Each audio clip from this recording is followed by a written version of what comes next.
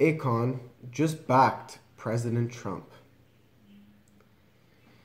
This is some very encouraging news. And to add the icing on the cake, Akon is a Muslim.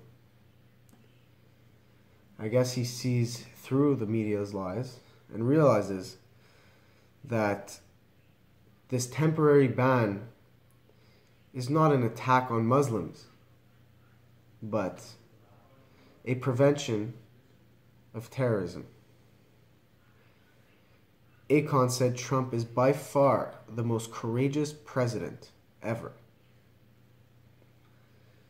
And that took some courage on Akon's part. And I think we all have to commend him for that. Akon joins the short list of rappers to back the president. That list includes Kanye West and Azealia Banks. Now, we have to understand that Akon sees through what uh, the liberals expect from him. Just because he's black and Muslim doesn't mean he's going to support Hillary Clinton. It doesn't mean he's going to oppose Trump. Everyone has their own opinions. Everyone is individuals. That is what the problem was with the left this election. They focused on identity politics. They saw minorities as minorities and not individuals. They thought they would automatically be with the Democratic Party. But that was not the case. These minorities liked what Trump had to say. They liked that he spoke to the audience without a filter. He was speaking directly to the people and still continues to do so today.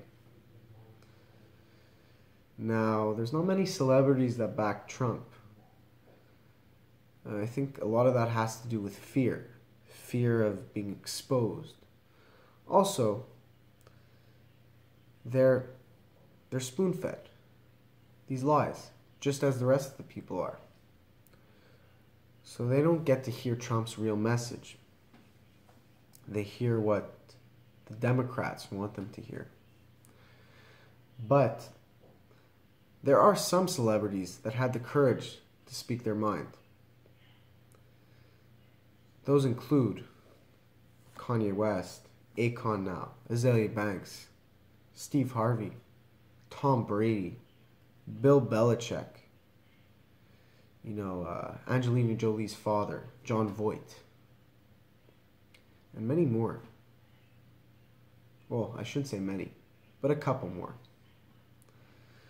Hopefully, Akon's courage will inspire more to read into what Trump has to say and not just accept what CNN or, M- or MSNBC is spoon feeding to them.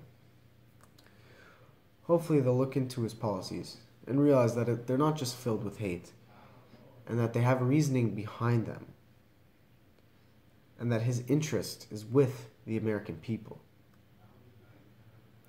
It's not without to say that he's perfect because nobody is. Nobody is perfect. And when Trump makes a mistake, I'll be there to criticize him. But until then, we have to hope he succeeds. We have to hope for the best. We can't hope he fails, and we can't continue to call him out on things that are not even facts. We can't say he's Putin's puppet, as I said earlier, because he's absolutely not. We have to grow as a nation, we have to unite and not divide. so annoying.